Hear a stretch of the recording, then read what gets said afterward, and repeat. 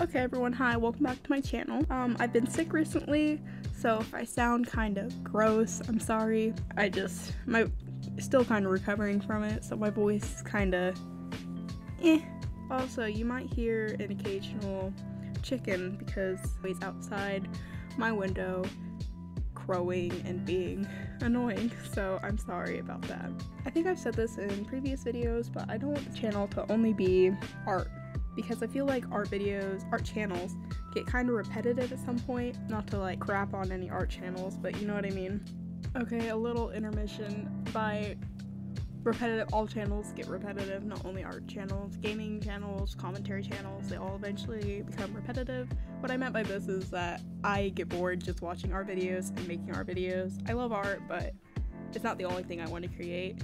So that's that's what I meant. um, I'd like to do some gaming on this channel. I tried playing Minecraft and I'll put a little clip of how that went here. I want to live with a place with a waterfall. See, I have goals. I'm striving. I'm we're living it up in Minecraft. So that is a lot of llamas. And we're avoiding this like the plague. Well, that place looks nice. We could avoid these trees. Um, you think I can make it to the water? Yo, yo, oh god! Ah, well.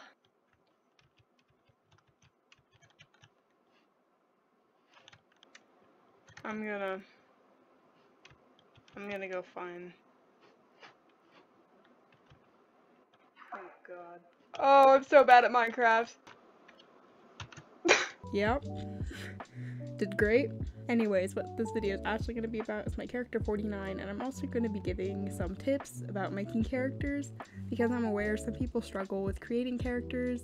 I personally, that's something I've never struggled with, but you also need to keep in mind that I'm not a professional by any means, so just take what I say with a grain of salt. I asked over on Instagram what character characters of mine that you wanted to hear about, and 49 won by a landslide, as usual, when I do any polls involving her. Of course she won, because she's the least developed character I had. No, it's just my luck. But I don't mind talking about her, because I have her story somewhat developed, just not anything for sure. That being said, I'm to give some insights of what her world is like and her overall overview of her story that I think I'm to do with her.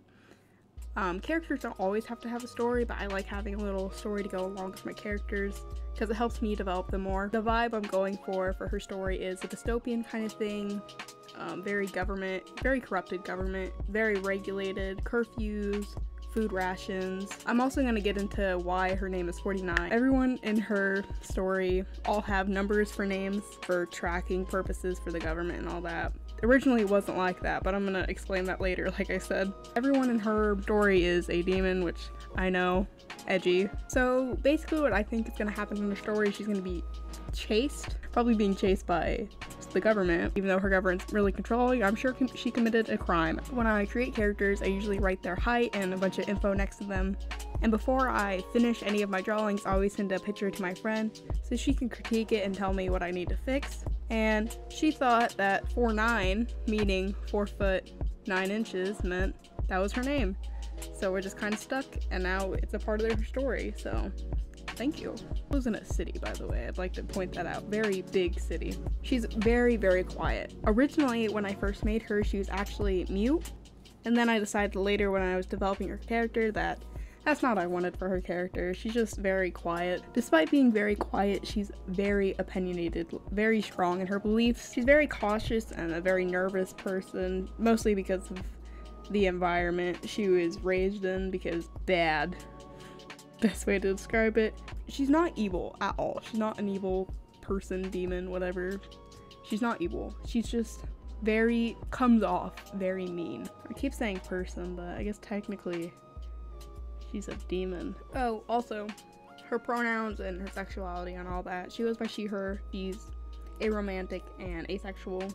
Um, her age is unknown, mostly on my end because I don't know how old I want to make her. Um, she doesn't have any kind of family. Well, again, it's unknown because I don't know if I'm going to give her a family yet or not. In this drawing, you see on the very left side, she's in a uniform, a work uniform. She works at a place called Sammy's Sandwiches. Yep. She hates her job with a passion. absolutely hates it, but she can't find anything better because she doesn't have any real career goals or just goals in general. She's just very goes with the flow kind of person. She's not ambitious.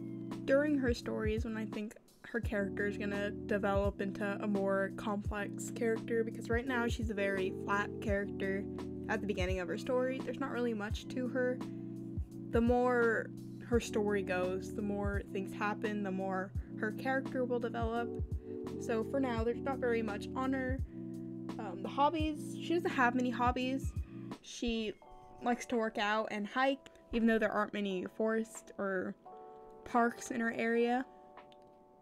She doesn't know what she wants to do, like with her life at all. And so I think her story is going to be kind of a story about discovering yourself, you know, something cheesy like that. But those are the kind of stories I like something apocalyptic, dystopian like, but also has a deeper message. So, yeah, that's all I have to talk about her, and I'm gonna go ahead and move on to the tips I have for character design or character creation in general. Editing this, I realized I don't really go in depth with her character very much, and it's mostly because I don't have her developed, and I really don't know how to talk about my characters. I don't really think anyone's gonna be too interested, so just kind of keeping it minimal. I don't want to bore anyone. One of the best tips I can give is base your characters off of something, like if you're struggling making a character, base it off your friends, or your favorite TV show character, or your favorite video game character, or even yourself. On top of that, don't restrain yourself, because when I was first making characters, I saw a lot of critiques, critique videos about Mary Sue's. Okay, I just realized not everyone probably knows what a Mary Sue is. Um, the best way to describe a Mary Sue, in my opinion, is just a character who has no flaws or has flaws but is extremely overpowered. Don't be afraid to make your character a Mary Sue. Because personally, when I was starting character design or creating characters in general, I made a bunch of Mary Sue characters. I'm not gonna lie about that. I made cat, furry, magical girls, and they were overpowered. And you know what? That's what made me happy. When I drew the cat things or furries or whatever you want to call them, that's what made me want to draw more. I wanted to improve drawing because I had characters I love drawing, even though they were pretty awful. But that's the thing. You shouldn't be worried about someone calling your character Mary Sue because it's your character. It shouldn't bug them because characters develop over time. It's not just they're to be perfect as soon as you make them. They're constantly, constantly developing.